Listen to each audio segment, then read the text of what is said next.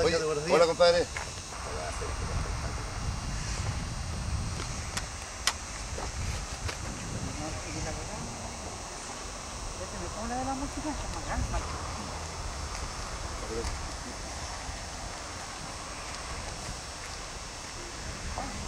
Caucho creo que está allí con la bolsa blanca.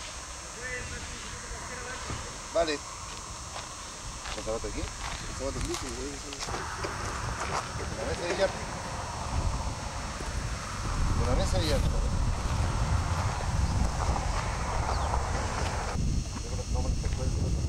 Saldo están tratando de hacer una.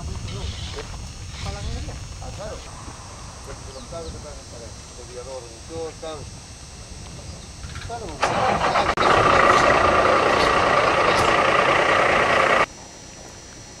Ah, y le dije, y por el, el guatón Moisés. ¿Y, ¿Y qué te preguntas de hacer permiso de curación? Saque 10, 15 millones, te los trapas a ti y le pagan los sueldos y los subcontratos. Ah, entonces ahí van a estar, como que te vaya, porque no importa el dinero, no, claro. Para ocupar esa, esa, ese saldo de plata. Es el estadio bonito de una media mañana. ¿Cómo que está? ¿Qué? Que el estadio bonito. Este estadio es lindo, weón. Y entre tribuna, tribuna, no, entre tribuna y guapo.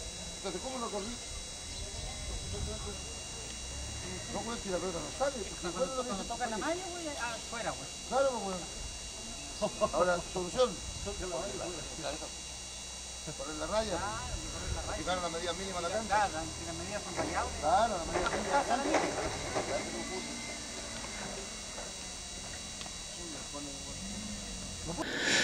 Alcalde, lo vemos eh, recorriendo los trabajos de, esta, de este mejoramiento e instalación de pasto sintético en la cancha del complejo deportivo del barrio Estación. ¿Qué impresión le deja? Bueno, ando en lo mío, yo creo que es, algo que, que me llena de satisfacción personal.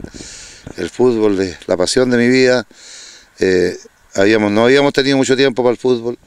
Felizmente ahora ya las cosas se dieron con el anterior gobierno. Espero que ahora ya lo hemos conversado con nuestro gobernador provincial.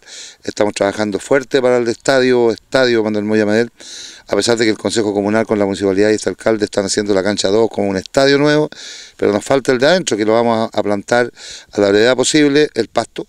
Aquí estoy en una alegría inmensa de la que la comparto plenamente con ellos, porque veo el pasto sintético ya puesto sobre la cancha. Eh, esto va a servir al fútbol de ANFA, al fútbol de Independiente. Mientras tanto, nosotros sacamos la cancha 2 eh, y esperamos recuperar, eh, como ustedes me preguntaban en la antesala de la entrevista, del DAEM. En la ocasión, el edil señaló lo importante que es para la educación contar con personal idóneo para trabajar en este sector y contribuir en el mejoramiento de la misma.